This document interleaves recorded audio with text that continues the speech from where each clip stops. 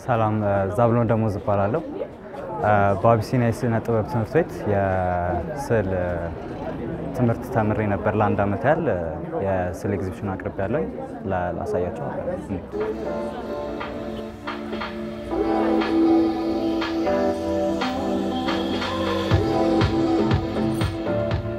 የ2014 ተማሪዎች የስዕል አውደ ርዕይ ስራዎቻቸውን የሚያቀርቡበት ነው። በ2015ም እየተማሩ ያሉ ተማሪዎች ደግሞ የእርሳስ ስራዎቻቸውን የንድፍ ስራዎቻቸውን የሚያቀርቡበት አውደ ርዕይ ነው። በአቢሲኒያ የስነ ጥበብና ሞዴሊንግ ማሰልጠኛ ተቋም ውስጥ በስነ ስዕል ዘርፍ ትምህርታቸውን ሲከታተሉ የነበሩ ተማሪዎች የመመረቂያ ስራዎቻቸውን ለታዳሚያን አቅርበው ነበር።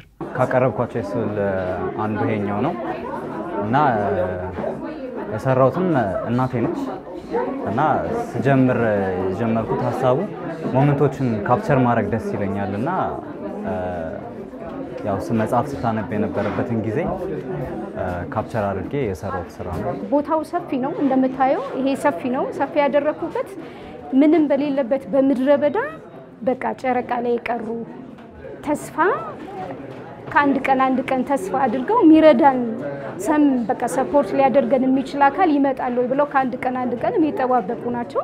እንደምታያቸው ወደዚህ ታያለች፣ እቺም ወደዚህ ታያለች፣ እቺም ወደዛ፣ እቺም በሀዘን የሁሉም ስሜት ነው የምጸት ስሜት ነው። ግን ሁሉም የሚጠብቁት ነገር አለ። ሁሌ በየአመቱ ተማሪዎች የስዕል ትምህርት ተምረው ሲጨርሱ የብቃት ምዘና ሲወስዳሉ። ከዛ በኋላ ስራቸውን በአስር ወራት ውስጥ የቆዩባቸውን ስራዎቻቸውን ለማሳየት የስዕል አውደ ርዕይ ያደርጋሉ። ተማሪዎቹ ስራዎቻቸውን በዚህ መልኩ ለታዳሚያን ማቅረባቸው ለእነሱ ተነሳሽነትን እንዲሁም በዘርፉ አንጋፋ የሆኑ ባለሙያዎችን ለመተዋወቅ እንደሚረዳቸው ተናግረዋል። ለእኔ እዚህ በማቅረቤ ያው የመጀመሪያ ኤግዚቢሽን በመሆኑ በጣም ደስ የሚል ስሜት አለው። በዛም ልክ ደግሞ ከሰዎች ጋር መተዋወቅ፣ connection፣ network ማድረግ ምናምን የሚለውን ነገርም አገኝቼበታለሁኝ እና በጣም ደስ የሚል experience ነው።